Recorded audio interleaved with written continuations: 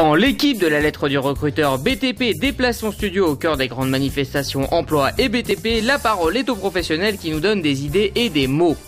Zoom sur les métiers du plâtre. Ce matériau naturel est de nouveau dans l'air du temps grâce aux constructions haute qualité environnementale qui utilisent ses propriétés pour l'isolation des bâtiments. Moins connus et populaires que les métiers de plombier ou carreleur, les métiers de plâtrier, plaquiste ou staffeur sont tout autant porteurs d'avenir avec actuellement 3000 jeunes en formation en France. Ce sont ces métiers qu'évoqueront tout d'abord les apprentis nouvellement attirés par la filière, puis nous aurons le point de vue de Guillaume Suto qui dirige l'Institut supérieur des métiers du plâtre, suivi du témoignage de Sébastien Mauriac, professionnel heureux, et enfin de l'équipe de Placo Plâtre qui nous parlera de son action. En effet, au-delà d'être un fournisseur de plâtriers, Placo œuvre pour la formation et la valorisation des métiers du plâtre. Mais commençons avec les futurs plâtriers et plaquistes. Tristan, Florian, Antoine et Maxence sont tous apprentis compagnons chez les compagnons du devoir. Ils nous expliquent comment ils ont eu le déclic pour des métiers pourtant peu médiatisés. En faisant des stages. Alors, quand j'étais au collège, j'ai fait plusieurs stages dans différents métiers et c'est celui euh, de plâtrier qui a accroché le plus et euh, du jour au lendemain j'ai annoncé ça. Je vais devenir plâtrier puis je suis parti. Quoi. C'est partir de rien et avec rien on, fait des choses jolies quoi. Puis c'est c'est une matière qui est vachement agréable à travailler, c'est c'est doux, c'est voilà quoi. Avant de se lancer dans la formation, il a d'abord fallu convaincre les proches, ce qui ne fut pas forcément évident. Bah, au début, ça les a étonnés parce que euh, ma famille, euh, ils sont dans des bureaux à travailler et tout. Et j'étais fâché pratiquement le seul à travailler dans le, dans le bâtiment. c'est pas mort comme métier, ça existe encore. C'est les premiers trucs qui sont sortis de leur bouche. Donc, euh, mais quand je leur montre ce que je fais, ils sont étonnés. Une fois sur le terrain, ils ont pu découvrir un métier plein d'attraits. il y a tellement de choses à faire avec le plâtre, il y, a, la décoration, on peut faire des cheminées, on peut faire des escaliers, on peut faire des enduits décoratifs. Euh.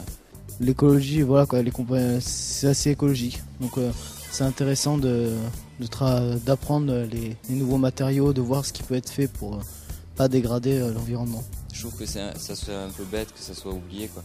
Guillaume Suto dirige l'Institut supérieur des métiers du plâtre créé à l'initiative des Compagnons du Devoir. Valoriser le secteur, créer une synergie entre les entreprises par des rencontres, mener des recherches et former, tel est le but de cet institut. Très au contact des jeunes lors des présentations, Guillaume Suto nous décrit le secteur et son image chez les jeunes. C'est un des corps de métier qui a euh, la plus forte croissance dans ses effectifs sur les dernières années, euh, à la fois dans ses effectifs salariés et à la fois dans ses effectifs en formation.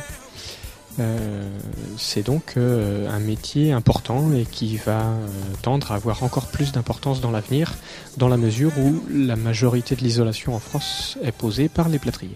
Le discours qui est tenu à la fois dans les familles et à la fois dans les établissements scolaires n'est pas forcément en phase avec la réalité de ce que sont les métiers aujourd'hui. Ça veut dire qu'une des pistes pour redorer l'image euh, c'est nous-mêmes de travailler sur la propreté et sur la finition. Nous faisons partie des, métiers de la finition. L'aspect écologique des constructions HQE semble être un très bon point de départ pour la communication sur le BTP. Et le plâtre a tout son rôle à jouer dans ce futur vert. Ça va modifier profondément la façon de travailler du plâtrier. Pour plusieurs raisons, euh, comme je viens de le dire, l'isolation jusqu'à maintenant et depuis les années 70, depuis la première crise pétrolière, est mise en œuvre principalement par le plâtrier. Euh, et on voit bien euh, dans les questions d'actualité que l'isolation est au cœur de l'évolution du bâtiment en général et donc euh, du métier de plâtrier. Sébastien Moria, qui quant à lui ouvrier plaquiste à Saint-Étienne et quand il parle de plâtre, il parle surtout de la fierté d'exercer un métier qui allie le savoir-faire et le côté créatif. J'ai 6 ans, je vais sur ma 7 année en expérience sur le plâtre.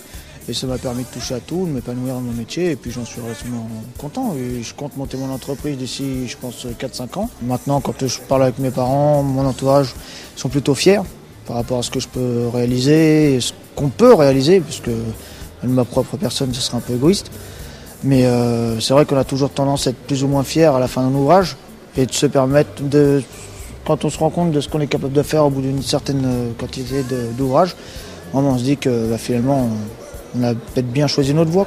Jean-Marie Vesser et Guillaume Chauvard représentent Placo Plâtre. Le célèbre industriel agit pour le développement de la filière plâtre à travers ses propres centres de formation, ses campagnes de publicité ou un club d'entreprise qu'il parraine. Ils connaissent tous deux les arguments à mettre en avant pour parler de ces métiers. Je crois que le premier argument aujourd'hui, par rapport au métier du plâtre, c'est vraiment la pérennité de la profession.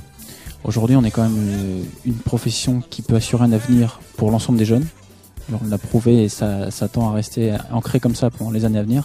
Donc aujourd'hui, c'est déjà la sécurité de l'emploi, une offre, euh, une offre d'emploi importante. Aujourd'hui, on a, on a quand même beaucoup, beaucoup de besoins en termes de, de main-d'œuvre dans, dans ces métiers-là. L'aspect euh, rémunération, qui a quand même nettement évolué depuis, depuis 10 ans, où on est quand même arrivé maintenant à des, des niveaux de salaire qui sont, qui sont plus qu'attrayants euh, par rapport à beaucoup de professions. C'est un métier dynamique qui a besoin de plus en plus de, personnes, beaucoup, beaucoup de, de jeunes qui vont prendre euh, un petit peu le savoir-faire parce que c'est un métier où il faut investir quelques années pour, euh, pour prendre ce savoir-faire et puis qui vont aussi suivre une carrière passionnante. D'abord sur les chantiers, j'ai parlé des systèmes innovants qui nécessitent de la technicité et puis potentiellement au fur et à mesure euh, prendre la responsabilité d'équipe et éventuellement même créer leurs entreprises. Donc clairement, compte tenu du Grenelle de l'environnement, des enjeux qui se développent en rénovation, beaucoup en rénovation, euh, il y a un enjeu pour attirer à la profession de plus en plus euh, de jeunes qui vont investir ce temps. Donc c'est un petit peu peut-être la plus ça la plus grande difficulté qu'on ait, c'est euh, qu'à travers ce temps, les jeunes perçoivent l'intérêt qu'il y aura quelques années plus tard Donc aujourd'hui, travail à nous de faire, faire voir que c'est un métier d'avenir, un métier qui est accessible, qui est moins pénible que ça a été, beaucoup plus propre, parce que c'est une image plutôt négative par rapport à la saleté, par rapport aux vêtements, à l'humidité. Alors qu'aujourd'hui, on a beaucoup, le métier a beaucoup, beaucoup évolué au niveau des applications des plâtres et au niveau de la, la technologie des produits même. En tant qu'industriel, les mesures du Grenelle de l'environnement sont un vrai coup de pouce pour l'industrie, encourageant à l'innovation et à plus de qualité et de qualification des professionnels. Alors tout à fait derrière le Grenelle de l'environnement, en fait, on trouve deux, deux problématiques fondamentales que sont d'abord la rénovation des bâtiments, notamment pour la performance thermique, et puis euh, bien entendu le développement durable, c'est-à-dire euh, le fait de- d'emmener dans les bâtiments des matériaux euh, sains, euh, confortables, pérennes et renouvelables. Euh, la grande caractéristique de nos matériaux, c'est qu'ils offrent ces caractéristiques et qu'elles sont reconnues depuis maintenant des éternités presque pour certains d'entre eux. Pour terminer, si les métiers du plâtre vous attirent, les professionnels dressent pour vous le portrait du plâtrier idéal. Ah, déjà, il faut être vif, patient, parce que c'est un métier qui est dur. Il faut être ouvert. C'est un métier qui demande beaucoup de soins et de finesse, euh, qui demande d'avoir du goût, qui demande d'être propre, euh, et qui de plus en plus demandera euh, d'avoir des compétences générales euh, dans le fonctionnement du bâtiment, de la conception d'un bâtiment.